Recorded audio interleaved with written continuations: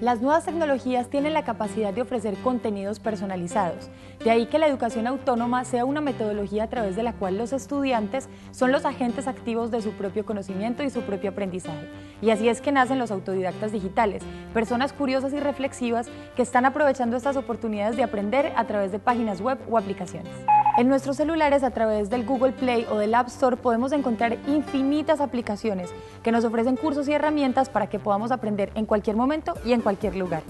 Duolingo es una aplicación de gran ayuda si uno quiere aprender otra lengua, por ejemplo inglés, francés, alemán, portugués o italiano.